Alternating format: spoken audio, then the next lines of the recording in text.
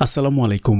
প্রিয় সুধী হজরত আলী রাদি আল্লাহ জন্ম সম্বন্ধে ঐতিহাসিকগণ একমত যে, তিনি পারস্যরাজ নৌশেরোয়ার রাজত্বকালে আব্রাহা বাদশাহ কর্তৃক খানায় কাবা আক্রান্তের বত্রিশ বছর পর পনেরোই বা তেইশে রজব মক্কায় জন্মগ্রহণ করেন।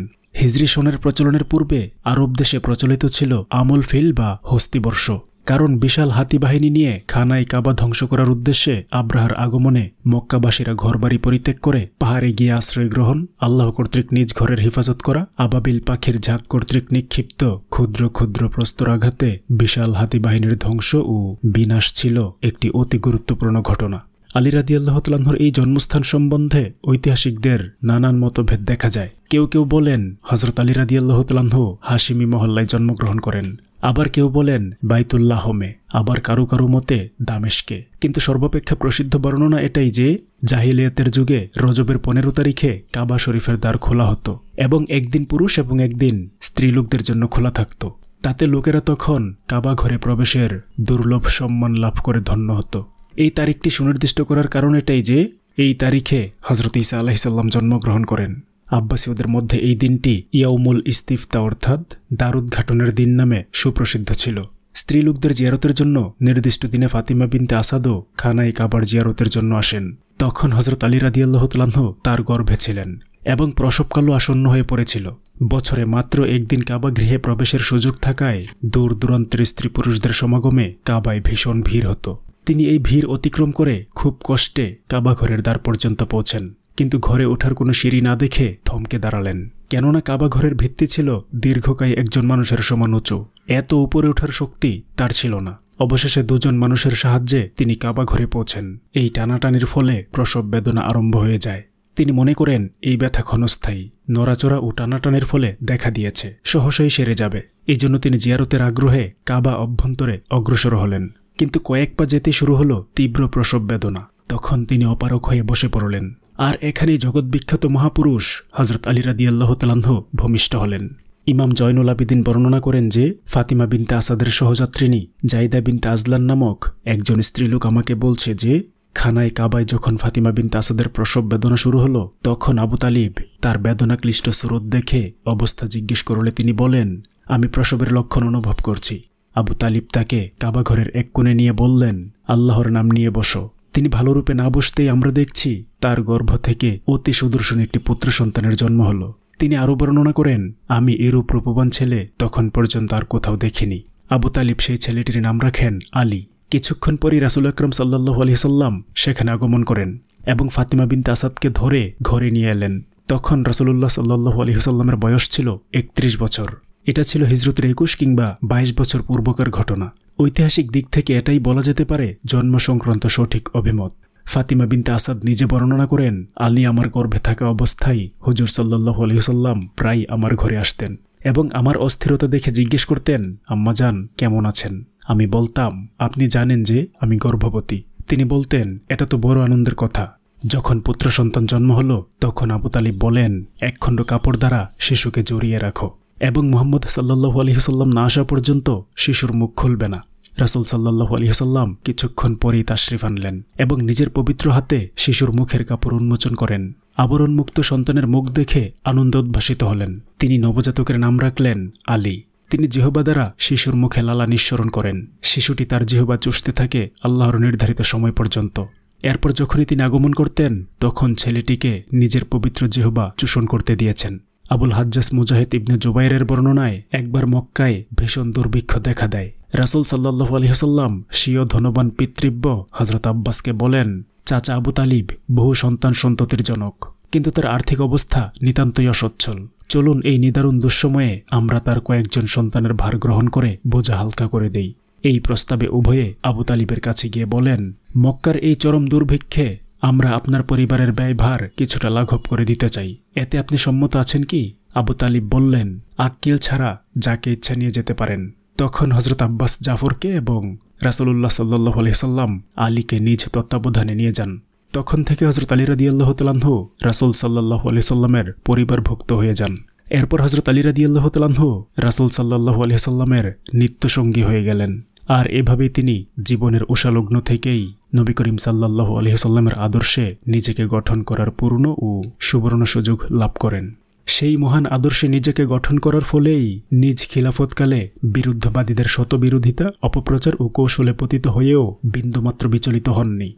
বরং রাসুল্লাহ সাল্লাহ আলহিসাল্লামের মহান আদর্শের একনিষ্ঠ অনুসারী হিসেবে সততা, উদারতা এবং ন্যায় নিষ্ঠাকে জীবনের শেষ মুহূর্ত পর্যন্ত আঁকড়ে ধরেছিলেন। ঐতিহাসিক বর্ণনায় দেখা যায়, শৈশব থেকে হজরত আলী রাদি আল্লাহতালাহু অতিশয় গম্ভীর প্রকৃতির লজ্জাশীল ও স্বল্পভাষী ছিলেন। সমবয়স্কদের মধ্যে সর্বাপেক্ষা শক্তিশালী ও সাহসী ছিলেন। সর্বাধিক জ্ঞানী ও ধীশক্তি সম্পন্নও ছিলেন। তিনি কখনও অন্যান্য বালকের ন্যায় বৃথা তামাশায় যোগদান করতেন না। শৈশব থেকেই ছিলেন ন্যায়ের পক্ষপাতী এবং অন্যায় অবিচারের ঘোর বিরোধী। সমবয়স্কদের মধ্যে কোনো দুর্বলকে সবল কর্তৃক উৎপীড়িত হতে দেখলে তখনই তাকে মুক্ত করে দিতেন। এসব মহৎগুণের কারণে সমবয়স্কদের কোনো বিবাদ উপস্থিতি হলে সকলেই হজরত আলীকেই সালিশ মানত। এক বাক্যে ঐতিহাসিকগণ এই কথা স্বীকার করেন যে, বাল্যকাল থেকে হজরত আলীর চরিত্র ছিল ঠিক রাসুল সাল্লাহ আলি সাল্লামের অনুরূপ। পিতা আবু তালিবের প্রকৃত নাম ছিল আবদে মোনাফ। কুনিয়াত বা ডাকনাম ছিল আবু তালিব, অর্থাৎ তালিবের পিতা। জ্যেষ্ঠ পুত্র তালিবের নামানুসারে এই ডাকনামের উদ্ভব ঘটে এবং এই নামেই তিনি বিখ্যাত ছিলেন। অনুরূপভাবে জ্যেষ্ঠ পুত্র হাসানের নামানুসারে হজরত আলীর ডাকনাম ছিল আবুল হাসান। রাসুল সাল্লাহু আলহিসাল্লাম তার ডাকনাম দিয়েছিলেন আবু তুরাব। এই ডাকনামটি হজরত আলীর অত্যন্ত প্রিয় ছিল। কেউ আবু তুরাব বলে সম্বোধন করলে তিনি খুবই আনন্দিত হতেন। এ ব্যাপারে বর্ণিত আছে যে, একদিন হজরত আলী রাদিয়াল্লাহ তালাহ নবীকন্যা হজরত ফাতেমা রাদিয়াল্লাহ তালাহার প্রতি কোনো কারণে অসন্তুষ্ট হয়ে মসজিদে এসে মেজের উপর শুয়ে থাকেন। তাতে মেজের মাটিতে তার দেহ ধুলি ধূসরিত হয়ে যায়। ঘটনা জেনে মহানবী সাল্লাহ আলহিসাল্লাম তাকে সাহিত্য ও মৃত্তিকা লিপ্ত দেখে নিজের হাতে দেহের মাটি মুছে সস্নেহে বলেন, উঠো হে আবু তুরাব। আবু তুরাব অর্থ হল ধুলি দূষরিত সেই দিন থেকে এটা তার ডাকনামে পরিণত হয়। ফলে এই ডাকনামটি খুবই প্রসিদ্ধি লাভ করে। তাছাড়া তাকে আবু মোহাম্মদ, আবুর রাইহানাতাইন আবু সেপ্তাইন নামেও ডাকা হতো। কিন্তু এসব ডাকনাম তেমন প্রসিদ্ধ লাভ করেনি। আবু তালিব ছিলেন অতি সম্মানী ও দয়ালু। রাসুল আকরাম সাল্লাহ আলহিসাল্লামের এই চাচা অতি গম্ভীর ও ধৈর্যশীল লোক ছিলেন। শিয়া মতাবলম্বীদের মতে, অপবিত্র ঔরস থেকে পবিত্র সন্তানের জন্ম হয় না। এই অজুহাতে তারা হজরত আলীর পিতা আবু তালিবকে মুসলমান বলে দাবি করে। কিন্তু তাদের এই দাবি একেবারেই অন্তঃসার শূন্য কারণ এই ধারণাটি সঠিক হলে হজরত ইব্রাহিম আলাইসাল্লামের পিতা আজর হতেন একজন শ্রেষ্ঠ মুসলমান। কিন্তু কোরআনে পাকে আজরকে সুস্পষ্ট কাফের বলে আখ্যায়িত করা হয়েছে। সুতরাং এটা শিয়াদের মনোপত আবিষ্কৃত একটি ধারণা মাত্র। সত্যের সাথে এর সামান্যতম সম্পর্ক নেই। তাছাড়া আবু তালিব মুসলমান হলেও এতে হজরত আলীর কোনো ফজিলত বা শ্রেষ্ঠত্ব প্রমাণ হয় না। কারণ একজন মুসলমানের ঔরসে আরেকজন মুসলমানের জন্ম এমনকি ফজিলতের কারণ হতে পারে। বরং প্রশংসার বিষয় তো এটা যে, কাফেরের ঔরসে জন্মগ্রহণ করেও মুসলমান হওয়া। কিন্তু কথা এটা যে, আবু তালিবের ঐকান্তিক স্নেহ ও অনুগ্রহে রাসুল আকরাম সাল্লাহু আলহিহসাল্লাম প্রতিপালিত হয়েছেন এবং আমৃত্যু মহানবী সাল্লাহু আলহিহসাল্লামের পৃষ্ঠপোষকতা করেছেন। অতএব আমাদের সুন্নি সম্প্রদায়ের মাঝহাব এটাই যে, আল্লাহ এর বিনিময়ে অবশ্যই তাকে প্রদান করবেন। পরকালীন জীবনে আশা করা যায় যে, সাধারণ কাফেরদের চেয়ে তার শাস্তি কম হবে। আমরা এই কথা স্বীকার করি যে, তিনি আবুল আহাবের মতো কট্টর ছিলেন না। আবুল আহাব রাসুল্লাহ সাল্লাহ সাল্লামের যতটুকু বিরোধিতা করেছে, তিনি এর কিছুই করেননি। কিন্তু এরপরেও তার ক্ষেত্রে আমাদের আকিদা এটাই যে, তিনি রাসুল্লাহ সাল্লাহ সাল্লামের উপর ইমান আনেননি। অন্তিম মুহূর্তে যখন রসুল করিম সাল্লাহু আলহিসাল্লাম খুব মহব্বতের সঙ্গে তাকে বলেন, চাচা যান, অন্তত আপনি একটিবার কালিমে শাহাদাত পাঠ করুন। তাহলে কিয়ামতের দিন আপনার যাবতীয় অপরাধের ক্ষমা চেয়ে আপনাকে জান্নাতে নিয়ে যাব। তখন আবু তালিব উত্তরে বলেছিলেন, ভাতিজা, আমি তোমার ধর্ম গ্রহণ না করার পেছনে কোনো কারণ ছিল না। কিন্তু কুরাইশরা বিদ্রুপ করে বলবে যে, এই বৃদ্ধ মৃত্যু ভয়ে একটি বালকের উপর ইমান এনেছে। তাই আব্দুল মুত্তালিবের ধর্মেই অটল রয়েছি। আবু তালিব প্রথমে রাসুল করিম সাল্লাহু আলহিসাল্লামকে ইসলাম প্রচারে নিষেধ করতেন। কিন্তু যখন দেখেন যে তিনি নিজ সংকল্পে অটল এবং সর্বপ্রকারের কষ্টেও প্রচার কাজ অব্যাহত রাখবেন, তখন নিরবতা অবলম্বনে রাসুল সাল্লাহু আলি সাল্লামকে সহায়তা করে নানা প্রকার কষ্ট ভোগ করেছেন। ফলে মক্কার মুশরিকগণ তার পৃষ্ঠপোষকতা ও সহায়তা প্রকাশ্যে রাসুল সাল্লাহু আলি সাল্লামকে কোনো প্রকার কষ্ট দিতে সাহস হতো না। রাসুল আকরম সাল্লাহু আলি সাল্লামের হিজরতের তিন বছর তিন মাস পূর্বে তিনি মৃত্যুবরণ করেন। মহানবী সাল্লাহু আলহিহসাল্লাম এই বছরটির নাম দিয়েছিলেন আমুল হুজন, অর্থাৎ শোকের বছর। কেননা এই বছরই রাসুলের উৎসর্গিত প্রাণ প্রিয়তমা সহধর্মিনী হজরত খাদিজাতুল কুবরা রাদিয়াল্লাহ তালান্নাও ইন্তেকাল করেন। আবু তালিবের মৃত্যুর পরেও হজরত আলী রাদিয়াল্লাহ তালাহ রাসুল সাল্লাহু আলহিসাল্লামের তত্ত্বাবধানেই থাকেন।